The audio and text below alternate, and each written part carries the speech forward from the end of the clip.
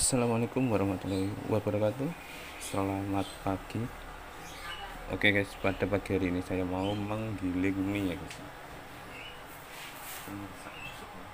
Guys tak bersihin dulu ya sebelum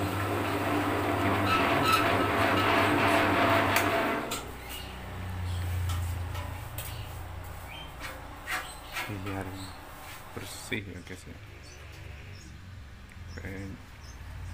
dibersihin ini sisa tepung. Misalnya kan ada tepung-tepung yang sisa nih gitu jatuhan ya. Jadi diresi ikat disolain sih oke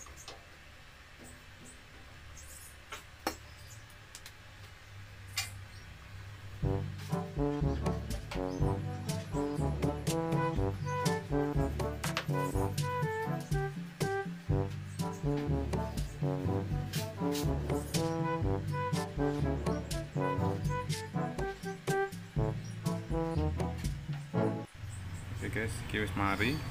Tak bersihin waktu nyetel iki kurane kurane kudu podo kabeh. Langsung kita giling minyak guys. Yuk. Jadi ini proses penggilingan mie dari awal sampai akhir guys ya. Kita giling ini minyak ini giling minyak ini harus benar-benar diukur ya ukurannya harus sama jadi kanan kiri ini harus sama ya nggak boleh nggak sama. Antar gunjing ya ketebalannya maksudnya. Kan ada ukurannya ketebalannya ini. Jadi benar-benar harus sama.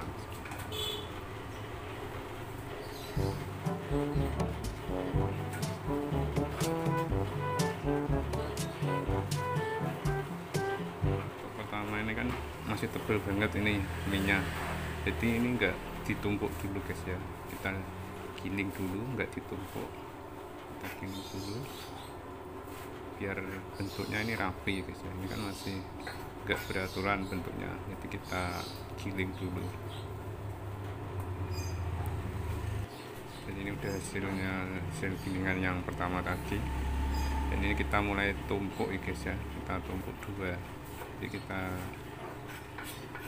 tumpuk dua guys. Soalnya udah enggak tebel biar melekat ya melekat. Biar jadi satu gitu biar rapi bentuknya biar halus. Jadi kita harus menumpuknya gini guys. Ya kita tumpuk jadi dua.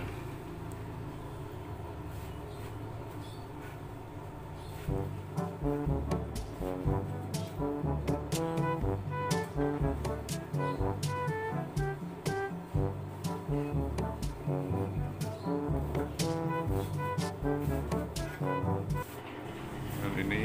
mulai bentuk rapi sedikit-sedikit guys ya.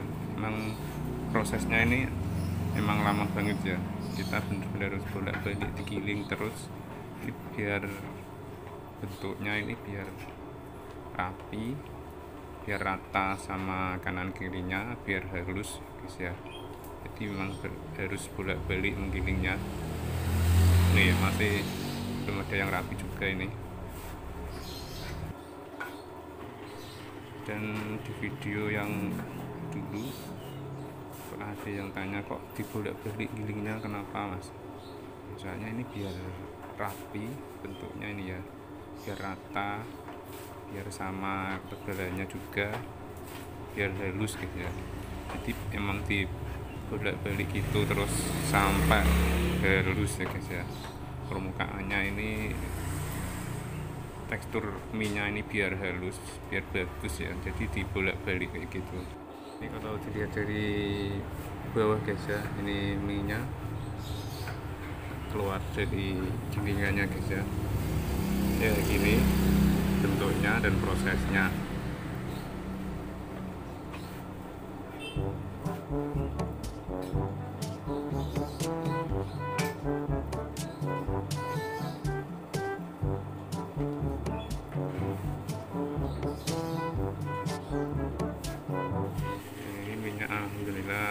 udah rapi udah agak rapi bentuknya udah halus juga.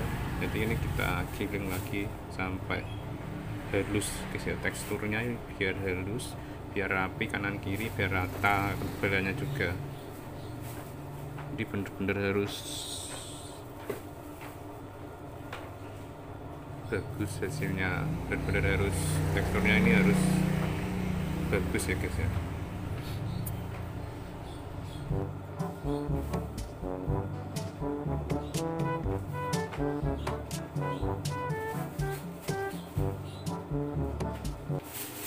minyak udah mulai halus ya. Tinggal sedikit lagi tinggal satu gilingan lagi. Udah halus tinggal nanti kasih tapioka. Proses selanjutnya guys. Ini kita giling satu lagi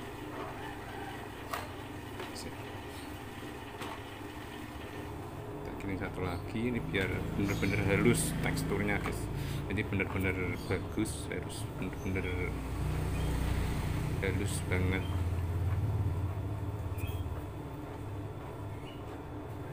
Biar rasanya minyak tambah mantep tambah mantul tambah enak.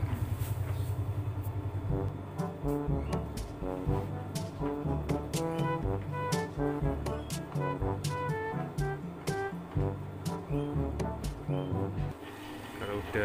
halus teksturnya ini.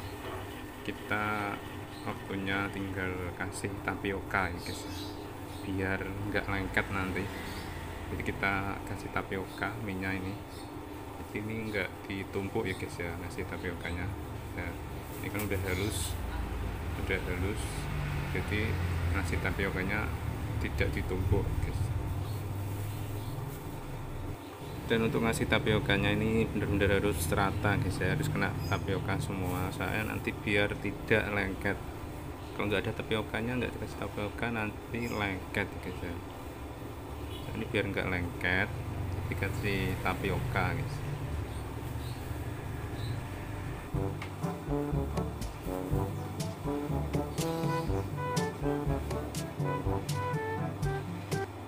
Ini bagian sebagian dari tapioka jadi kita tumpuk ya. Yang ada tapiokanya kita kasih taruh di luar. Yang enggak ada tapiokanya ditaruh di dalam guys. Sama-sama enggak ada tapiokanya jadi biar kena semua tapiokanya kita tumpuk. Jadi yang ada tapiokanya taruh luar. Jadi biar sama-sama ada tapiokanya biar mengirit tapioka juga ya biar cepat prosesnya juga jadi kita tumpuk yang ada tapiokanya jadi taruh luar biar nggak bulat dari ini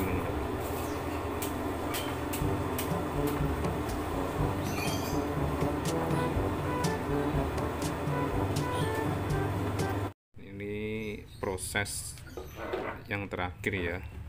Ini bentuk mie membentuk minyak guys ini minyak jadi kita lihat dulu ukurannya benar-benar sama apa enggak kanan kiri. Ini benar-benar harus sama ya guys. Soalnya kalau kecil sedikit nanti enggak sama ukurannya. Kan jadinya enggak bagus nanti pas digulung nanti guys. Ini benar-benar harus dilihat bersama ukurannya ini.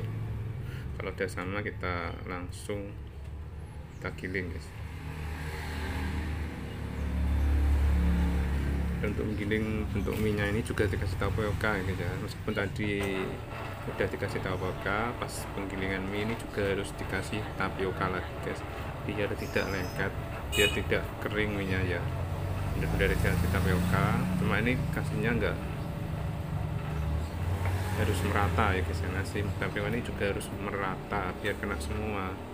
Jadi kalau nggak ada yang ada yang nggak kena tapi kering atau enggak gitu lengket guys. Jadi benar-benar harus kena semua harus merata nasinya guys.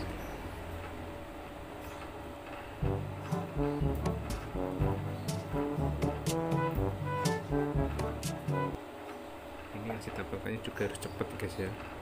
Soalnya mesin ini cepet banget ini geraknya. Aku belum bisa cepet-cepet guys ya. Numpuk-numpuk guys.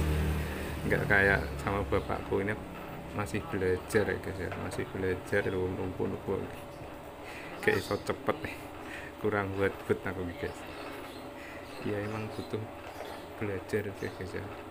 Harus belajar jadi harus belajar dan belajar biar iso ndang cepet-cepet bendang cepet wet wet wet ngono guys ini numpuk-numpuk ngene iki mine.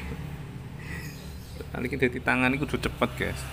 Ini mesin ini soalnya cepet ini melakukannya jadi ini harus cepet juga tangannya.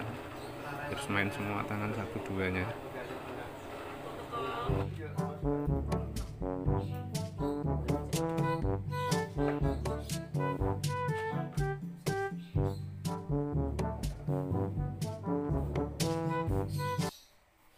Alhamdulillah ini udah selesai guys Oke mungkin segitu dulu video dari saya. Kalau ada perkataan dan kata-kata saya yang gak enak didengar Saya mohon maaf. Untuk kalian yang ingin tanya-tanya bisa komen Komen-komen di kolom komentar yang ada di bawah. Sampai ketemu lagi di video saya selanjutnya. Wassalamualaikum warahmatullahi wabarakatuh